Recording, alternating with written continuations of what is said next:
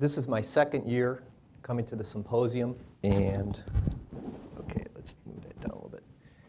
And I'm humbled by the knowledge and the individuals who take part in this. Um, taking a look at those posters and just looking at the research, um, just the, the, the, minds and how they think, how everybody thinks about security in so many different ways. Um, you know, not only technically, but also from a management point of view. And you know, for me, that's very important. Um, you know, being a manager for information security for a company, I need to know and understand what everybody is thinking about. So it's very humbling for me to be here. And I have to apologize. I'm going to be using two computers here to do the presentation. One has my notes on it.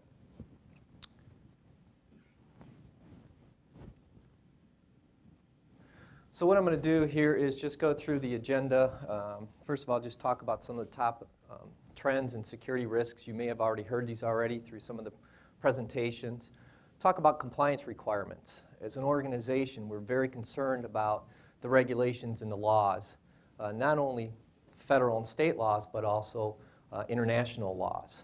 Um, I'll talk a little bit about our security initiatives, what we do as an organization uh, to help mitigate the risks that we uh, identify and also um, ways for our clients to mitigate those risks. As Gene pointed out, um, this presentation is actually for our clients. We have an annual seminar uh, that we do for our clients, and I talk about security and how our organization addresses uh, security. And I'll go a little bit um, give a little bit overview about the organization and why it's important to our clients. I keep looking at there, but there's screens right here. I'm not used to that. Um, the objectives really are just to provide an overview of um, my perspective. What do I see within the organization? What do I deal with on a daily basis? Um, and also just to give you a basic understanding of how one company, Ontario Systems, addresses security. Each company does it differently, but this is our way of doing it.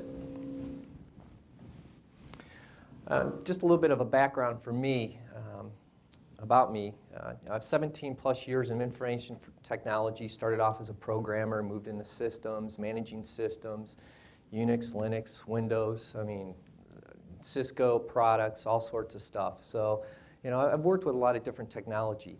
And the reason why I pointed this out is because it was difficult for me to move from that technical aspect of security to management aspect. It's very important when you become uh, a manager uh, of information security in an organization to move from that role of a technical person to a, a, a more of a managerial overview or a managerial um, aspect of information security. Um, you know, I've got some certifications. I think it's very important in today's day and age to continue to learn. Um, you know, I'm, it's one of the things I wish I would have done is come to Purdue. I'm finding more and more how important uh, the CERIAS program is. Uh, and, uh, you know, it's just one of those things that I, I, I find very unique and very, um, uh, very good. Uh, well, not very good, but, you know, very important in, in the world today. So what do I really do? Well, it depends on who you ask. Um, my boss just says, just keep me off CNN. Okay. Well, that's easy, I think, if you just listen to what I have to say. But really, what I do is I, I manage risk. Um, you know, it's, it's more about focusing on the risks to the organization. You know, I, I keep the awareness of information security um, throughout the organization. I make sure that everybody, not just the officers, not just the directors, but also the employees, every single employee making sure that they're aware of the latest threats and the vulnerabilities within our organization. Uh, they're very key, and that's one item I'll touch on later about that. Um, you know, incorporate security into the business processes. I think that's very important. How do you get security into the business processes? At what point do you bring it in to those processes? If you don't have it involved, if you don't have security involved within the business processes, you fail you become you come to the back end. They'll come to you at the very end and say, "Hey, by the way, we're going to put in this system." excuse, me. excuse me. And make sure that our policies address a lot of our contractual obligations. We sign a lot of security agreements for our clients, so I have to make sure that our policies address those, that our employees are trained in the policies and aware of the policies, and why we have these policies in place, what are our contractual obligations, what are the, the laws and the regulations that we have to follow. Uh, also develop a security incident, incident response plan and maintain that so that when something does occur, what do we do? It's, it's a constant learning experience. There's, somebody pointed out, um, it may have been SPAF early on, there's no silver bullet to information security. And a key thing for me is to position Ontario Systems as a secure partner to our clients. One of the things that we recently did was we had a reorganization. We had a new CEO come in. We developed a strategic plan for the organization, laid out a whole new map for the company. And right there, one of those objectives was promote and adhere to security best practices. So I made the strategic map. I'm in. Well, that right there allowed me to say, okay, I want to position Ontario Systems as a secure partner to our clients because it's, it's a strategic goal for us. How can we make our clients better? Ontario Systems, we are a uh, receivable management software solutions company. We develop software. Uh, we deal with 500 clients, healthcare, financial institutions, uh, collection agencies, law firms. So as you can imagine, we have a lot of uh, compliance to deal with. We're famous for our FACS software, which is a flexible automated collection software. It's over 25 years old, and it still works. And it was kind of interesting uh, this morning talking about the the amount of code that increases over the years, and you just watch the bloat of that code.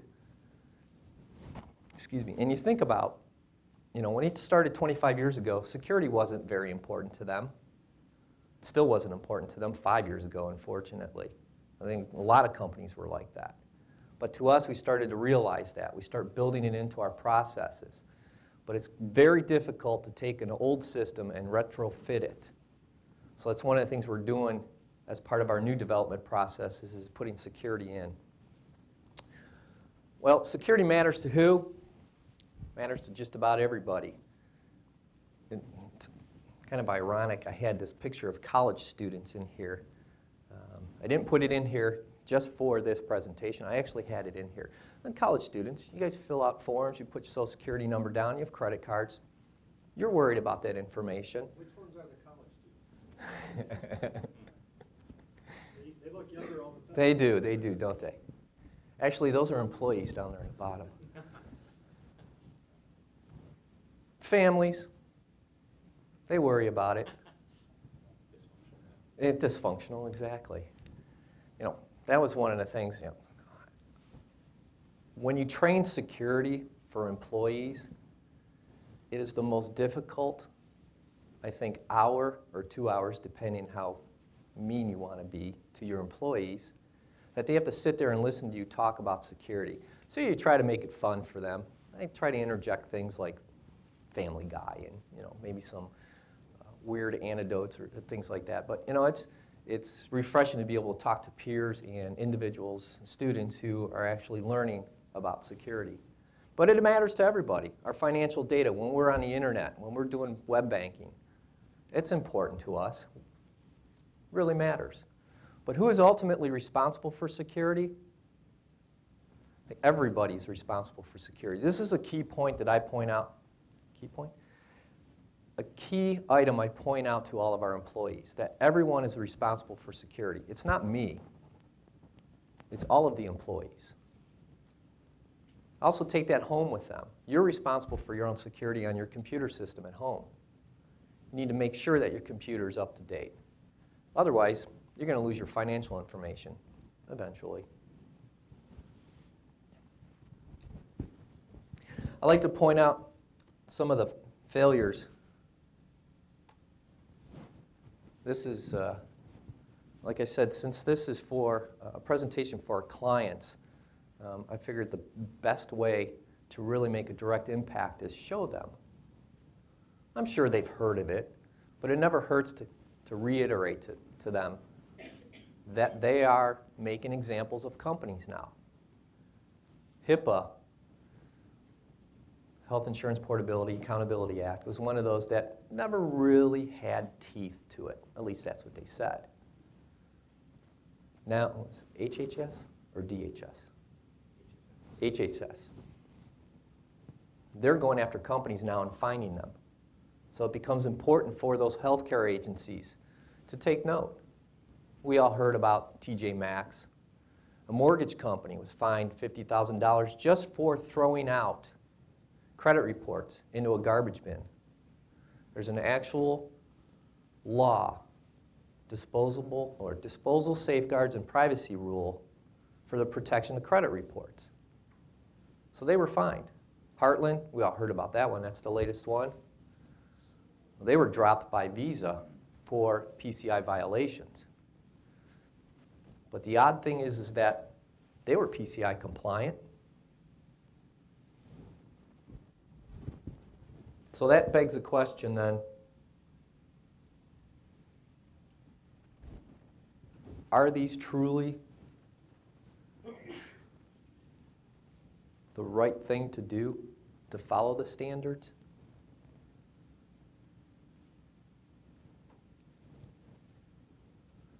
There was a report put out by Verizon Business last year. Over 500, I think they analyzed over 500 cases. This, the risk team goes out and they do incident investigations. So they, they identify or they research 500 incidents. Uh, and this is the percentage of breaches affected mostly payment card data. 84% of it, which tells you the criminals were going after credit card information. But how could that be? We have PCI. I'm sorry, Payment Card Industry Data Security Standard. Thank you, Gene. PCI was developed by uh, the Payment Card Industry Council based off of Visa and MasterCard and, and Discover cards safeguard rules. So there were three, four, I think there were four total. Three or four. There were three or four different rules to follow. So as a retailer, you're following a Visa safeguard rule, you're following MasterCard, you're following Discover, American Express, thank you. So you're following those, well, they needed, or they decided they needed a single rule, a single guideline. So the payment card industry was formed and developed this. But 84% of the breaches were payment card data.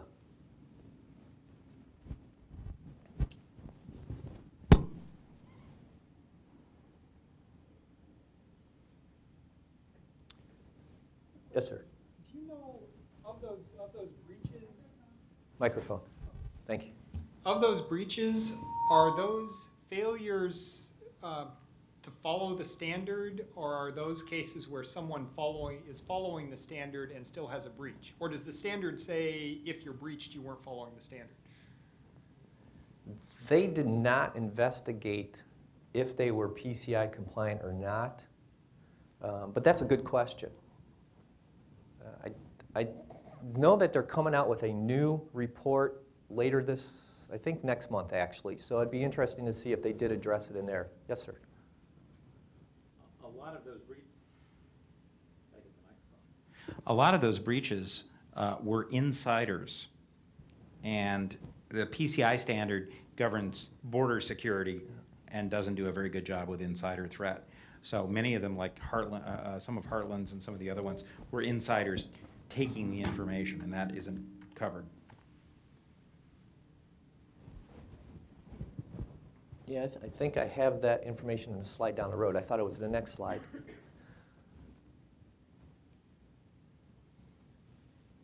I like to show this. Oh, I'm sorry. As in the Heartland case in which our malware was installed on the on the Heartland's computers, right? In the in the Heartland's case, so I think they were PCI DSS compliant. So is there a problem with that PCI DSS standard, or what is happening? Is is the standard imperfect? Because the company followed it, but then also they got they got attacked, and I think the transaction volume was around 100 million transactions per month or something.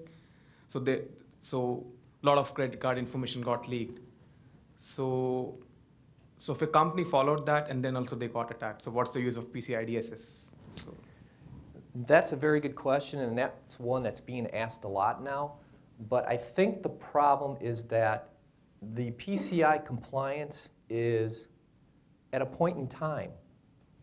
So when they come in and conduct the audit, that day, you're compliant. But if the following day you were to make a change to your systems, or introduce a new system, or a network configuration, you may be out of PCI compliance. Isn't there a way in PCI DSS which actually take care of uh, preventing some malware or some other stuff getting installed in the, on, a, on a client's machine? I think there are some safeguards for that also. So that actually inherently points to the weakness in the PS, PCI DSS standard. So it was not perfect. Nobody, uh, nothing is perfect. So that's why malware actually came in the systems and it, Yes, and, and it's true. And it points back to it's about processes.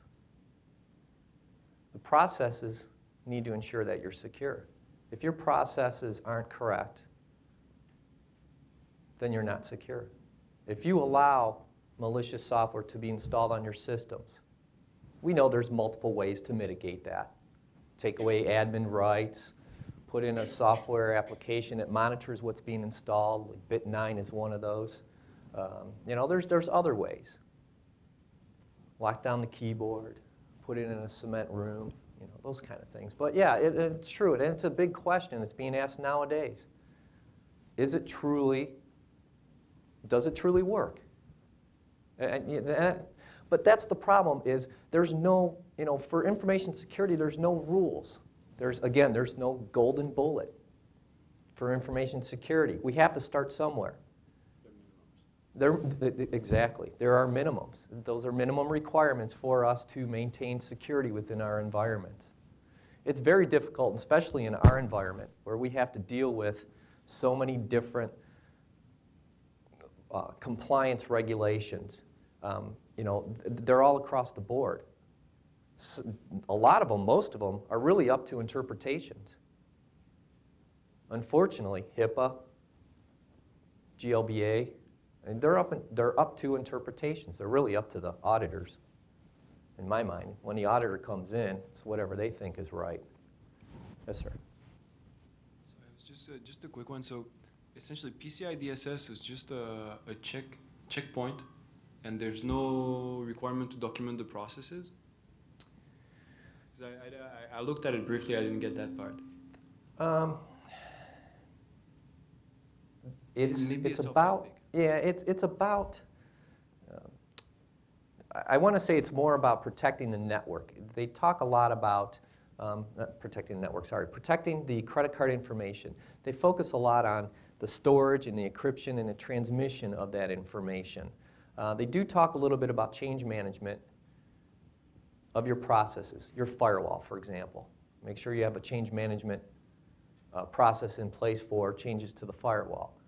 And correct me if I'm um, missing something here, Gene, but I, you know, I I think, you know, their main focus is about the credit card information. So it kind of, you know, again, it's those blinder kind of things, I, I, I think, that makes it difficult.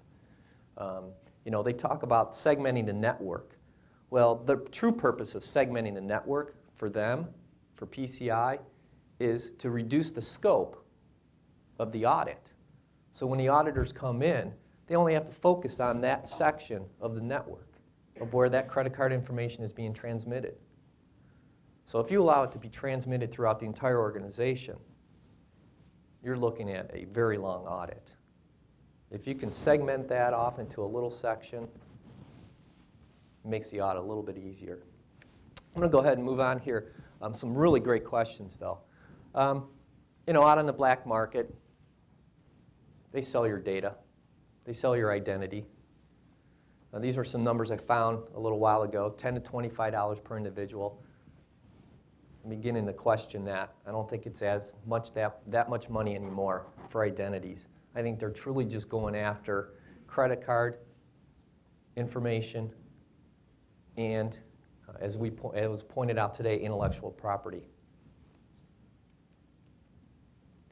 The cost for data breach, and I'd really like to point this out, uh, especially to the executive levels. This is one of the things that I use whenever I find a client data file on our network that's not stored in accordance with our policies. I'll count the number of records and multiply that. I don't have the number up there, but the, I think it's $197, give or take a few dollars there per record that would cost a company if that information were breached. Yes, sir. Do you carry breach insurance? Uh, Do you- do you carry breach insurance? breach insurance? Uh, no, we don't. Should you? You know, that question was brought up a while ago. Um, I'm, and to be honest, I'm not really sure. It was posed to the executives, and I just let them run with it. You know, but that's really a question. You know, should you carry it? You know, what's the impact? Again, do your business impact analysis. You know, what's the impact of the organization? What's the cost of the insurance? The reason I, the reason I ask that is that it's the one of the few places that people are selling insurance successfully in this area because the costs are kind of well understood. We know how many letters, we know how much it costs to pay lawyers, we know how much credit monitoring costs. And just to, you know, the idea is that we sometimes insure things that which we understand. The part we don't understand just seems too hard. Uh, Very true. And that's one of my difficulties as part of the risk management is pointing out to the executives what's the true cost and how do you mitigate that. The last line on here, we connect to our clients to support our products. We have a network connection to them. This last line was very important to our organization. Um, this report was put out uh, actually in February this year by the Ponemon Institute. 44% of the respondents said that the breaches were caused by a third party. We are a third party to our clients. I can guarantee if they look at this report, they're going to start thinking there's a big risk for us as Ontario systems. So we need to, as an organization, address that.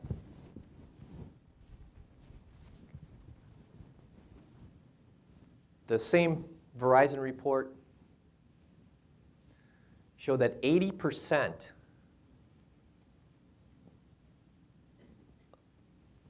the difficulty levels of a breach were low and moderate, which meant little to very little knowledge was required. Big business nowadays for criminals to either sell or buy the tools to do a data breach, to go out and steal information, steal identity. Well, the scary part was 52% were just low. Automated tools and script kiddies. Little more than half of the data breaches were caused by run of the mill scripts. You're all familiar with this, but I like to point this out to our employees and to our clients. This is a small list, as you know, of the different vulnerabilities. And as I was reviewing this again today, I added in on the vulnerability side for web browsers and office software, I said improperly coded. We always, from the information security side, we look at it as being improperly patched. Do we have the right processes in place to patch those? When the reports come out, 30 days after we do our testing, we patch the systems. Is that really the vulnerability, or is it because they're improperly coded? Start to question that. You know, but really the bottom line for all these, as I started to look at them even deeper, was really a lack of procedures, lack of processes. If you don't have a patch process, your web browsers are going to be exploited. Your software will be exploited. If you don't have the right processes in place.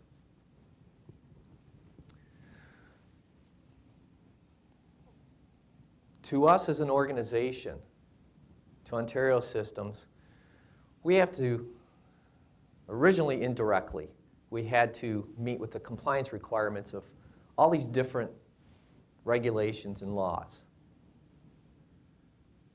We had a contractual obligation to our clients and an ethical obligation to protect their data. Well, one of the changes to HIPAA in the stimulus plan that was just signed by President Obama in February was the business associates, which are third parties that have access to protected health information, are now liable. We are responsible for reporting the breach.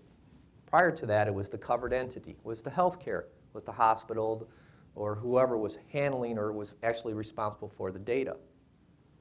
This was a big change for us. We became liable. It directly addressed us as an organization. You know, we deal with a lot of different companies in a lot of different markets. We have public companies, we deal with financial institutions, credit unions. Our software takes credit card payments from debtors. Yeah, I know, it sounds a little weird. But keep in mind that not all debtors are really in debt, especially in healthcare. They get a lot of bills from their doctor. It's difficult to pay those all off at once. So what they'll do is they'll create payment plans. We'll take credit card payments. You know, it's easy. We also do skip tracing with our software, so we deal with credit reports. So we have to worry about making sure our clients can comply with that regulation about disposing of credit reports in a timely manner. Uh, the red flag rule, which just came out, was about being able to identify identity theft. What are those flags that you have in place to make sure that that information was not compromised? That somebody, especially an insider, did not compromise that data, did not steal that information. We have Canadian companies.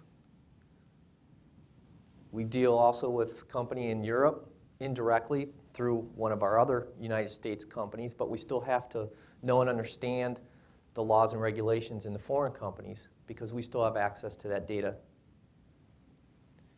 The one thing I like is that it seems to me that in the foreign, uh, call them foreign, but Europe and in United Kingdom and Canada, they have those federal privacy laws, those protections, those privacy protection acts. That's one thing we lack here. We have, what is it, 44 states now that have data breach laws, each one different in a little way. So that becomes a little cumbersome. There's some identity theft bills that are pending. So as you can see, this is a lot of what I deal with also. I have to keep track.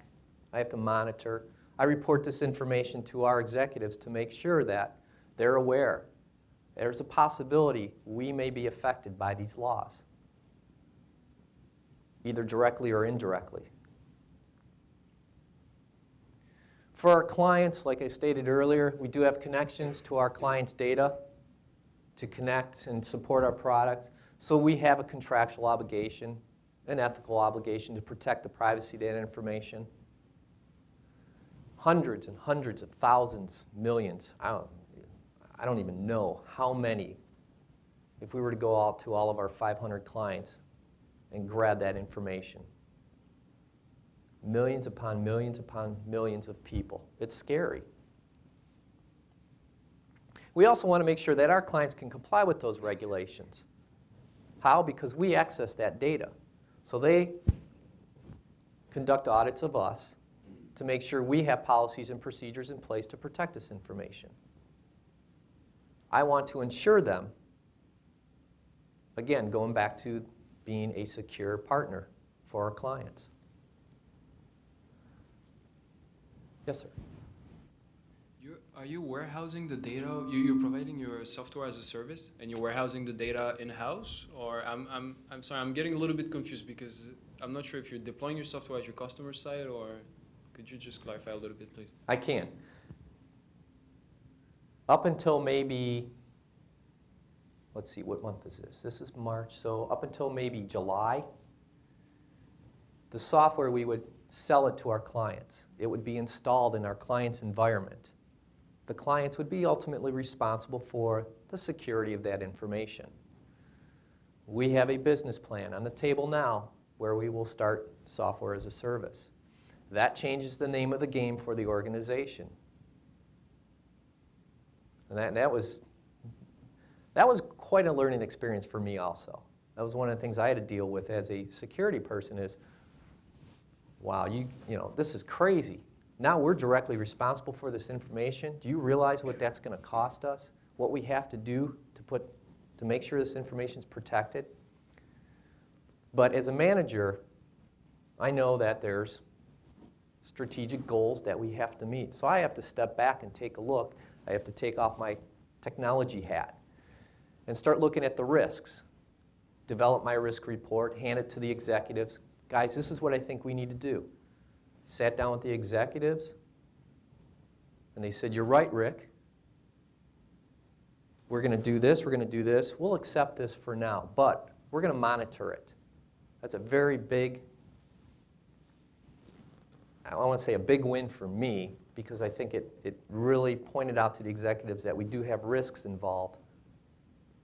But we also have to make sure we monitor those risks. And I, and I think that, uh, you know, when we look at this, this list of the threats,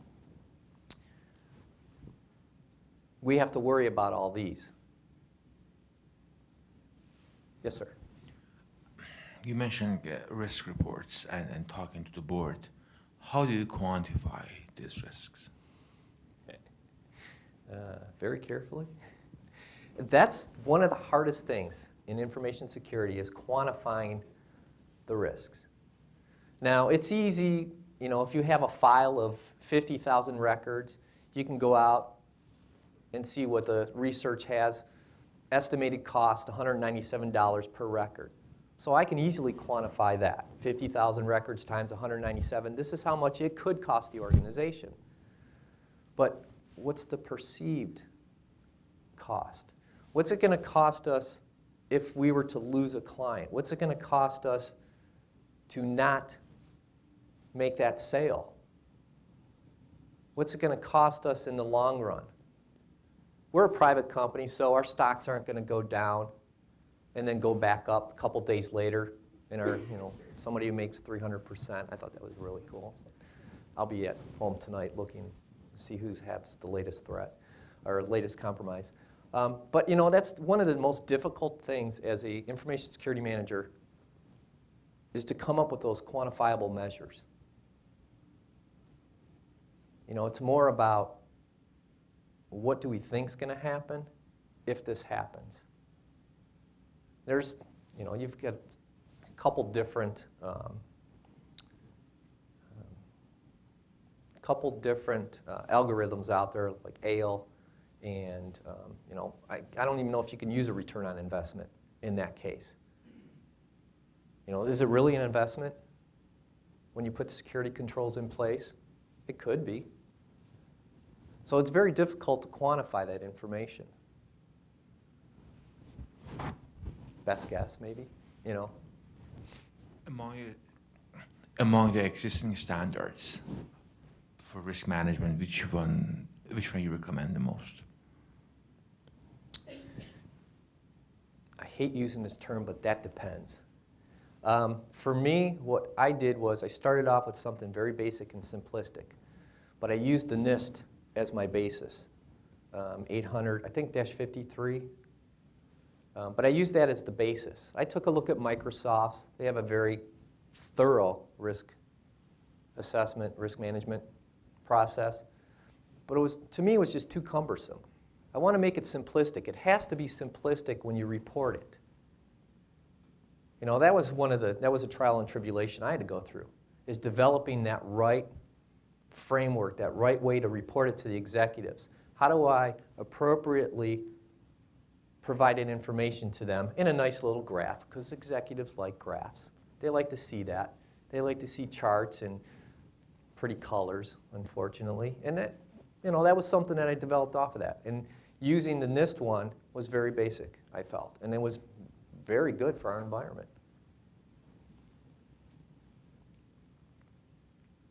Our clients want to know, and really anybody, when you connect their network, they're going to want to know this. Who is connected? Why are they connecting? What are they using? How are they connecting? When are they connecting? When are they logging off? This is very important to our clients because they have to have the audibility in place. They have to prove that that person who logged into their system to support the product was on there for a reason, not just to jump on, to take a look because they felt like it. But there has to be a purpose. There has to be a business reason for that person to be on their system. They have to be authorized. They need to know. This is one of our um, one of the slides I show also to um, our new employees to give them an idea of what the objectives are of information security. As you can see, I used the three big, three big security terms right there, confidentiality, integrity, and availability. So as a company, what do we do to help us with information security? We are SAS 70 Level 2 certified. Unfortunately, it doesn't tell you if you have the right controls in place. I think that's, that's one of the faults of SAS 70. So we're going to utilize ISO 27001 to help us develop a framework to determine if we have the right controls in place.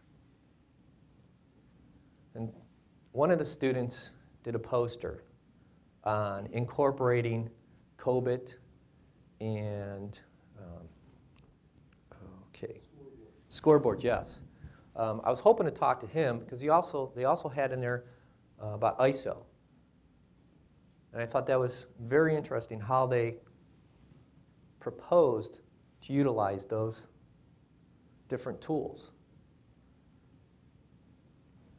We also have a business continuity plan, and we use a product called SecureLink which is a third-party application, that allows us to connect to our clients securely, but also allows us to audit those connections and uniquely identify who is connecting to their systems. We have over 300 people supporting our products.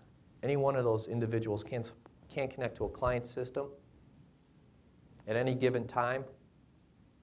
So it's very important for us to be able to identify who is connecting.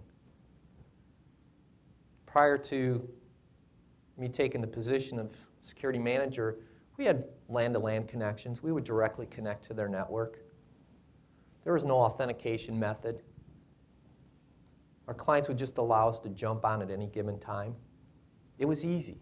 It was convenient.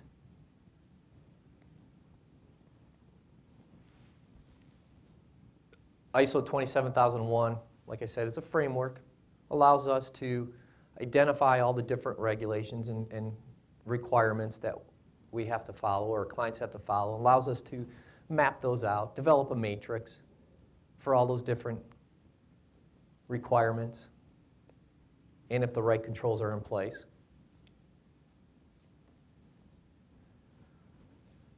Made a comment about insurance. Five minutes, thank you. Fire insurance, everyone has should have fire insurance. You don't think there's going to be a fire. You don't want a fire, but you have it as a protection because it could happen. But I'd like to point out that in a lot of organizations, they feel that a firewall is much like their insurance. You put it in, I'm safe, but it's not. There's more than just having a firewall within the organization. And it's unfortunate a lot of small and medium-sized sized businesses don't have people who are responsible for security within the organization. And this is one of the reasons why I like to point this out, because it goes above and beyond just having a firewall in place. Not only does it go above and beyond these technical controls, but the processes, the risk management, all of that. But it's difficult for a small or medium-sized business without a security person to truly understand anything beyond this. When we talk about risk management, this is what we do. This is my process. Very simple, six steps. Identify it, evaluate it, prioritize it, plan on how we're going to mitigate it, implement that plan, and monitor it. There's always going to be residual risks. There's going to be gaps, but it's how you monitor those gaps and how you go back and repeat the process. That's one of the things I'm working with right now with our IT department. They're trying to find the right golden bullet to segment our network so that we can go for a PCI audit. So we can keep only the credit card information on those machines. Well, they're looking for that golden bullet. They want to put all these tools in place, all these technical you know, pieces of hardware. I said, guys, let's not try to bite it all off at once. Let's just do a little bit of a time. We can't get it all in the budget this year. Let's take a look at what we have left, put it on the risk report, identify it as a gap, monitor it. Next year we'll address it. And that's a key point of ISO 27001 also. It's about continual process improvement. You continually improve your processes. Systems change, people change, software changes. As soon as you put in that control, I guarantee it's going to change the next day.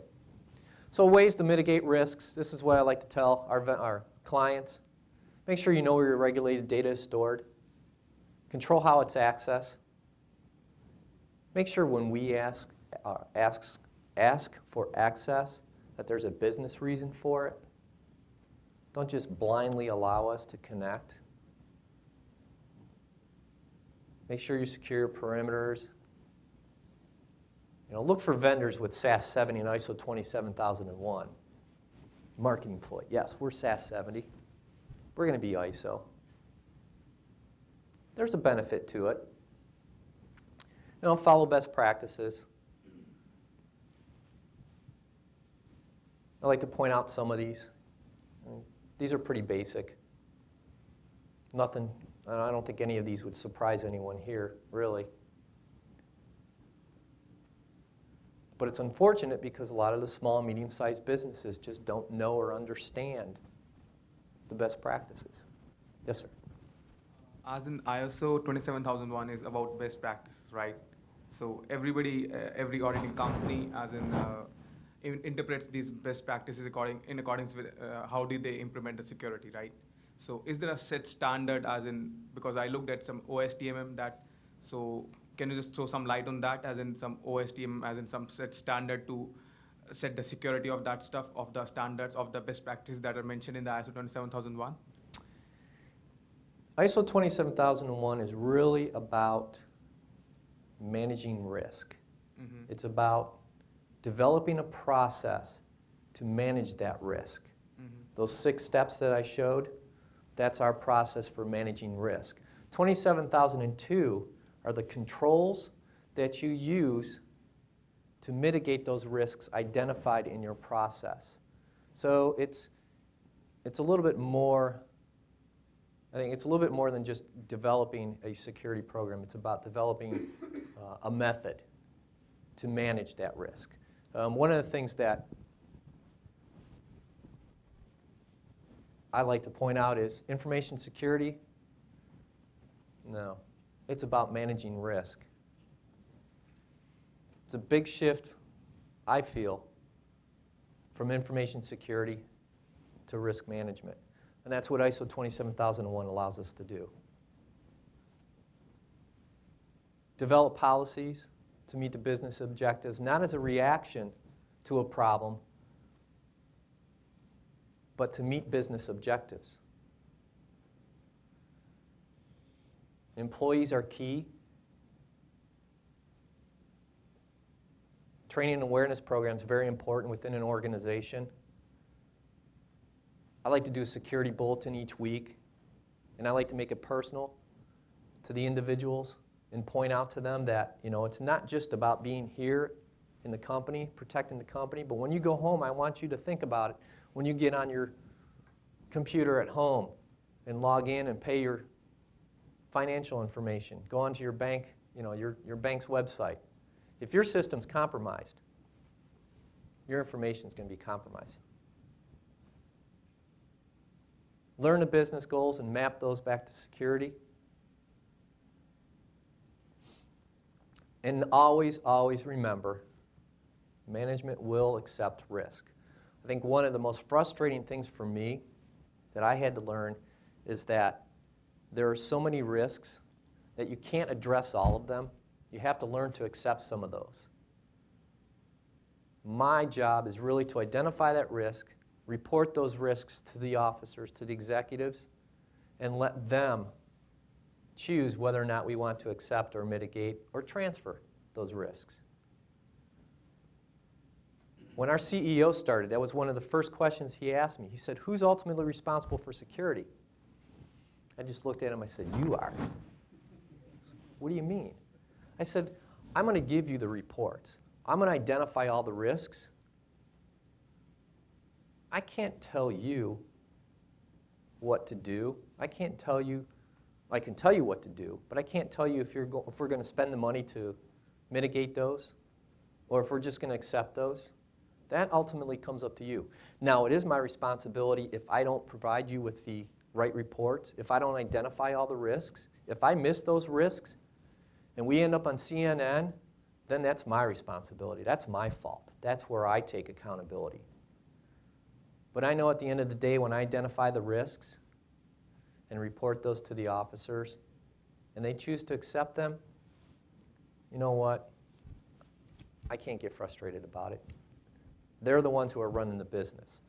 There's a lot of security practitioners out there right now who do get frustrated with that because they know that's very important to put the controls in place. I have to show this. I remember I read this a couple years ago. I wish I saved the magazine, but I thought this really, really brought it to a point. This tells, tells it all, I think. I was allowed to take this, I took this to our executives and said, this allows us to keep our jobs. This allows us to keep the company functioning. If we can't promise our clients that we could protect their data, we're not going to sign new agreements, new contracts. We're not going to move into new markets. We're not going to become global if we don't have security processes in place. Thank you, sir. This is great.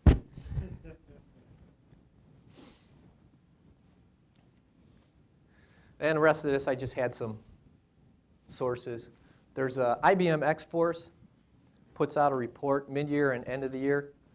I think is a really, really great report when it comes to um, security.